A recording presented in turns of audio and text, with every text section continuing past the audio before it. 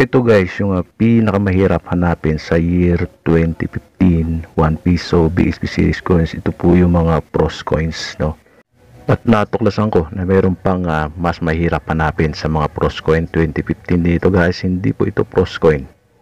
Yan po ang ating pag-uusapan. Dapat niyo pong malaman.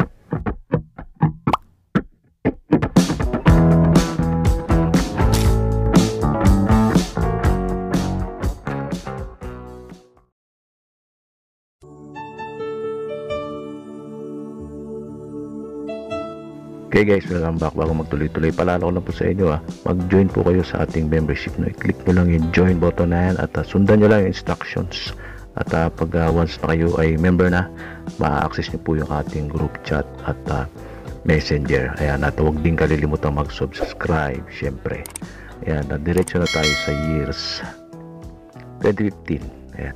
Bibigyan natin kasi para bago natin na ipakita yung coin dapat alam niyo kung ano pong variation sa ngayon ang meron record no? Ayan 2015 yung nauna yung 18% yung po yung reverse to na marami no? Ibig sabihin common po yan ha tapos yung sunod 2015 din 9% ayun po yung reverse 3 guys so familiar na kayo dyan uh, reverse 2 and reverse 3 common po pareho yan. At yung uh, 2015 na sinabi ko kanina yun po yung uh, mga frosted coins. At uh, 1.5 lang ang uh, percentage niya dito sa Nemista eh, no? reverse 3 tapos siya po ay uh, frost.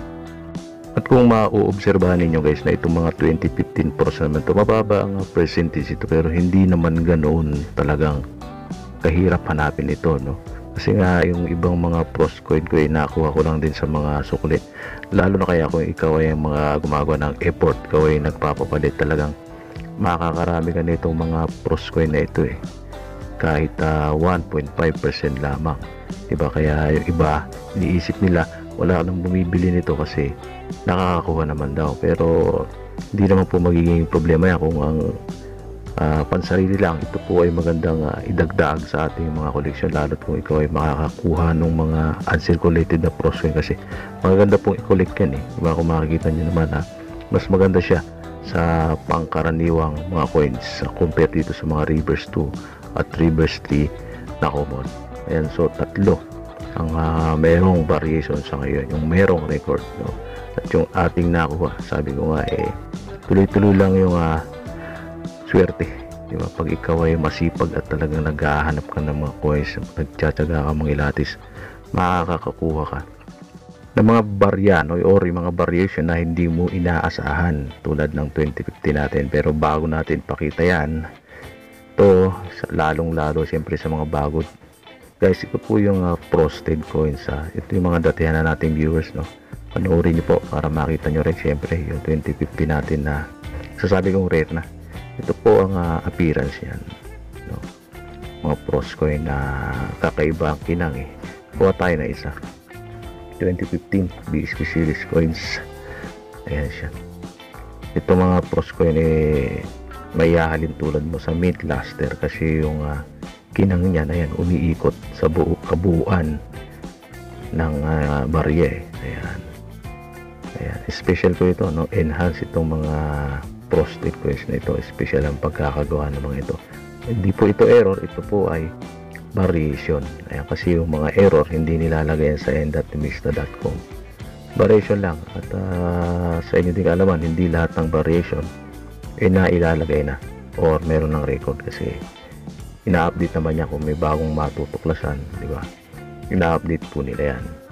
Ayan, lahat po yan ano, pare-parehas ang appearance yan ayan mga pros coin river street po yan lahat. At ito na guys na ipakikita ko na sa inyo.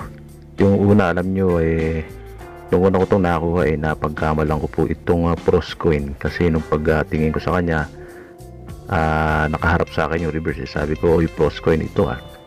Tapos nung uh, kailangan tanggalin ko muna. Uh, para makita nyo. Nagkaloko-loko ng hirap tanggalin guys ayaw matanggal. Sandali lang ah. Ayan pambihira pinahirapan pa tayo no? Yan, tulad yung sabi ko kanina. Yan reverse kasi. Nung una ko tinignan sabi ko pros. Pero nung binaligtad ko sa burst niya pagtingin ko sabi ko bakit hindi frosted itong kanyang ubers at ah, agad sabi ko mm, maaaring bago variation to. Syempre natuwa ako dahil tingnan nyo mabuti no yung kanyang appearance. Glossy eh. Di ba? Glossy siya.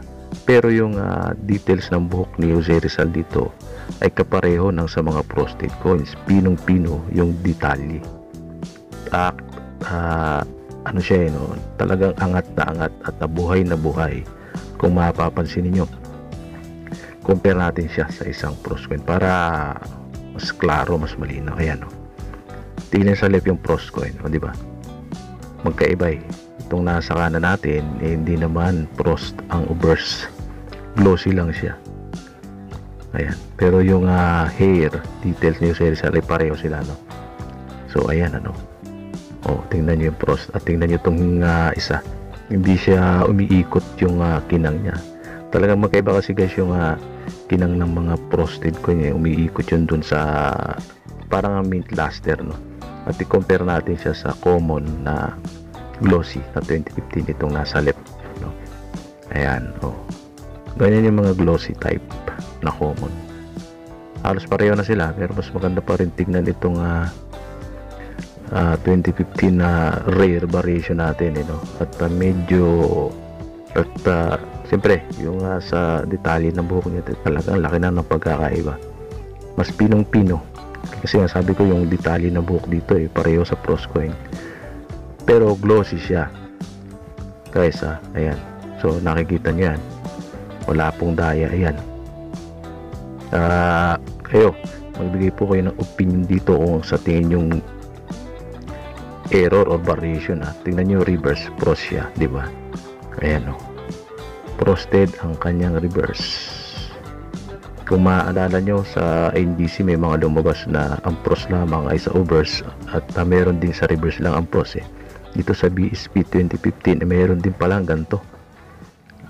At mabuti na lang natuklasan natin. Tingnan nyo yung reverse nila pareho. Parehong frosted oh. Parehong reverse 3. At pag yung pinaliktad na nga, doon na sila nagkatalo. Hmm. 'Di ba? Glossy yung 2015 natin eh. So, napaka-rare nito. Kaya tingnan ninyo, hindi lang basta pros.